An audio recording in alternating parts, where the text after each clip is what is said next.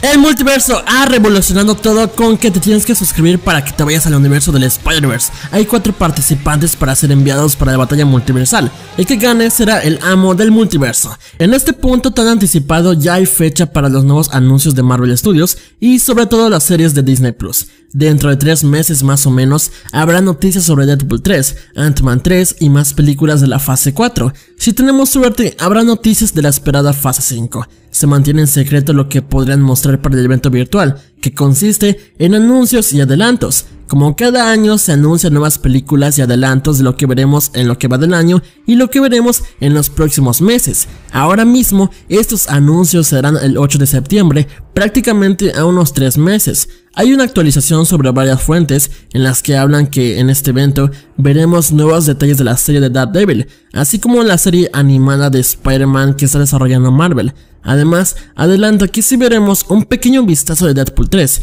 donde Ryan Reynolds aparecerá como Deadpool y anunciará algunos detalles de la película. Se espera que la película se estrene a finales de 2023 y como lo hemos estado hablando de la trama giraría en torno a múltiples eventos de películas de Marvel donde Deadpool ocasiona incursiones. O sea, en vez de adaptar que Deadpool mate al universo Marvel como en los cómics, van a adaptar algo diferente y van a hacer que haga muchas incursiones. Los ejemplos más claros es que si Deadpool aparece en una película de Marvel estrenada en 2012 o 2013, pueden cambiar algo sobre esa línea temporal o llevarse algo de aquella época. Si solo teorizamos con lo que podría pasar, se había dicho que no veremos cameos ni nada por el estilo, solo muchas escenas pasadas donde Deadpool cambiará algo de lo que vimos en esa película. En la D23 también se darán detalles de quién va a participar en la película y es un poco curioso ya que si llega a ser esa la verdadera trama de Deadpool, este va a convivir con muchos de los actores del UCM. Es hasta probable que veamos regresar a Chris Evans o Robert Downey Jr. solo para que vuelvan a recrear una escena de Avengers 1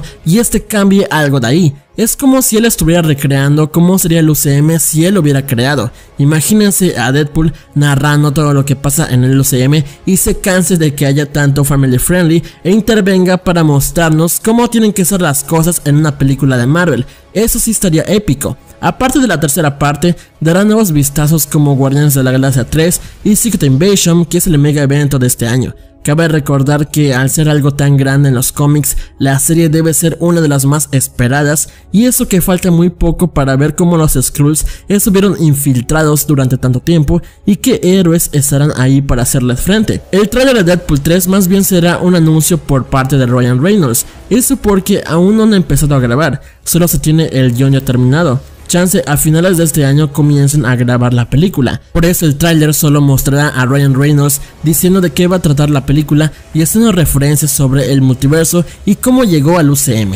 Dime si esperas la D23 para los nuevos anuncios y si estás emocionado por lo que llega a pasar en Deadpool 3. ¿Qué esperas de Thor Love and Thunder y Secret Invasion? ¿Va a cambiar las cosas para el UCM? Dime qué crees que llega a cambiar Deadpool del UCM. Pero bueno, si te gustó la canción de mi intro, solo sígueme en Instagram y te digo cómo se llama la canción por mensaje. No te olvides darle un gran like a este video, suscribirte y activar las notificaciones para que no te pierdas cuando suba un video épico. Te quiero mucho bro, cuídate y nos vemos hasta la próxima.